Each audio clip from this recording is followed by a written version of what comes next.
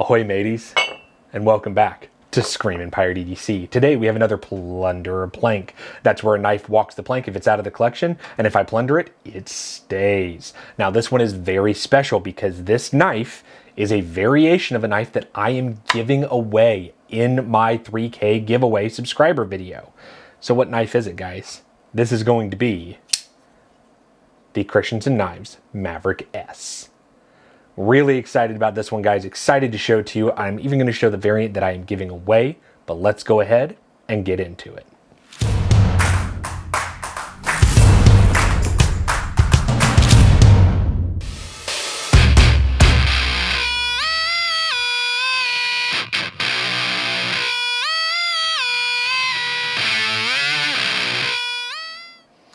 All right, guys. So as per usual, stats on the screen. Only going to highlight a few things here. Uh, first up, the weight on the actual titanium one that I have here is going to be 3.7 ounces. But the micarta one that is being given away is 3.1, so 0.6 ounces lighter. Um, this is typically for the side-by-side uh, -side comparison, but wanted you guys to see the titanium with all the crazy accents versus the micarta. Now the micarta one is the one being given away, okay guys? Your behind the edge, exactly the same, okay? Your overall length, exactly the same. Your cutting edge, exactly the same. It's just difference in materials. Um, after that, guys, we are looking at a beautifully thin blade. I love, love a good hollow ground. I'm gonna try to show him off with all that swedgy greatness. really good stuff there, guys. Really like that. Okay, guys, let's do some size comparisons because Maverick S has been out for a little bit now. Some people have had it, some people haven't. But I wanted to show you guys all of this because, heck, you might be getting one if you enter in the giveaway. So first up, let's go ahead and start with the AD 20.5 from Demko.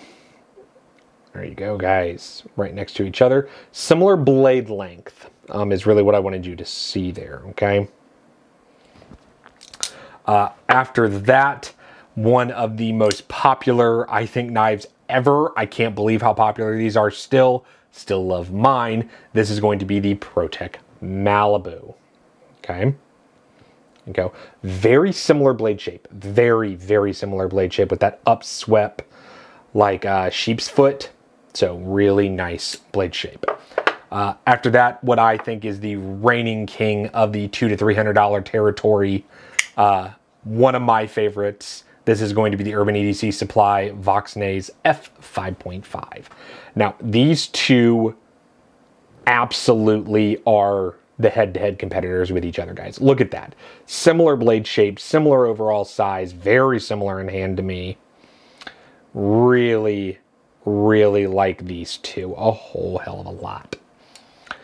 After that, we have the WE Knives R, Vision R, Snex Vision R. There we go, guys. Um, bigger knife there, but wanted you to see those two next to each other, okay? After that, let's go ahead and get into what I would consider Matthew Christensen's peers. So this is going to be the Lucas P from Matthew Ware. Okay, guys, there you go. After that, let's go ahead and grab the Brian Brown Jaeger M. Now, let's talk about my thoughts on this knife. Um, ergonomically, I was surprised. So on the f5.5, you know, I'm typically having to put my finger back here or I'm choking up, which is fine because there's jimping out right where my thumb is. You're really close to the blade, but you're meant to hold the knife like this, which is more than fine. It is comfortable. The Jaeger, you know, I tend to not use the flat up here. I'm back here with this knife and I just kind of stretch out. You can put your finger on the flat. There's no jimping there for you, but this or this is your standard hold. You can move your hands around. On the Maverick, I got one spot, guys. I literally hook my finger a little bit around the back, thumb goes right here on the flat, and I, and I open it and I go to work. A big thing for me with a lot of knives and whether they stay is can I open it immediately index, and am I immediately ready to get to work with the knife? The Maverick does that for me, which is great. I really do like that. As far as deployment, it does not matter which version you take.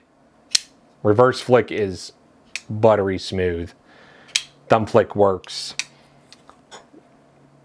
Left-handed, there you go. And can I left-hand reverse flick? Ooh, I don't know if I can on the frame lock. Can I do it on the liner? Yeah, there you go. So I can do it on the reverse flick on the one I'm giving away to you guys. there you go. Um, I think the detent is wonderful on these. It is a little bit stronger than most, but not so much that I think it is bad in any way. Um, I do really like where the engagement of that detent ball is too, because I can just kind of shake that shut. Um, I will mention one thing on the liner. This is across the board. This happened to a lot of people. There is a touch of lock stick. There you go, guys. And when I say a touch, I mean a touch, okay? Um, but I think that the liner lock is smoother on the closing. So there's that. Uh, guys, there is very minimal jimping. The only jimping you are going to find on these knives is going to be right there on your back spacer, okay? Uh, now, your Torx bit sizes, again, you can find these in my Amazon shop. There is a link in the description. So let's go ahead and grab that T8. That's my pivot. That's my body screws and my clip screws and my detent. T8 all around. I love it. Uh, after that, guys, you are looking at a beautiful, beautiful hollow grind, okay? Really, really like this hollow grind. And I really like the swedge up top. It's just a personal thing. I just like them. I think they look cool. Uh, in and out of pocket, guys, I mean, obviously with the liner lock, very, very easy. On the frame, I've had no problem with how much the clip extends over that rock lock relief here. It has been very easy in and out of pocket. Um, once again, on the blade shape, I think you're looking at like a modified sheep's foot. I really love the look of it. And part of the reason why I like that is because when I'm like this, guys, look where the blade is in relation to my fingers. So you can really get a nice cutting surface there and use the majority of the blade, which I do like. Um, that being said, guys, what, what do I personally think about my personal collection and will it be plundered or planked? I am going to plunder this knife. And part of that, about 30% of that is because I like the way it compares to other knives. I am a reviewer, guys. I like comparing knives, okay? But also, I like it a bit more than some of the other knives I showed you. I really like that I can just pick it up, immediately index, and it's comfortable in hand, and I can immediately start using it. Also, Great conversation piece with all of these beautiful accents. I think these are Tarmascus, but they might be Zircuti. I don't remember off the top, guys. Really, really nice. And also, it's my favorite blade shape. A modified sheep's foot that's somewhere between a warning and a sheep's foot and hollow ground. I mean, guys, I love it. That's probably my favorite blade shape ever. The only thing that comes close to that is going to be like a Bowie or a harpoon blade in close seconds. But overall, guys, this is a plunder for me. Um, I know a lot of people have been talking about this knife, especially with the lock stick on the liner lock. Again, it's very slight. I don't really think it's a whole lot. If you have a problem with it, you can always reach out to Matthew. He's very good about getting back to everyone. At least that's my experience, guys. with all that being said, guys, don't forget, there's a giveaway going. First place gets the Liner Lock Maverick S. There's a bunch of other goodies there. Go enter also, there is uh, the Screaming Pirate V3 patches that are going to be dropping on October 30th. With that being said, guys, thanks for stopping by, and I'll catch you on the next one.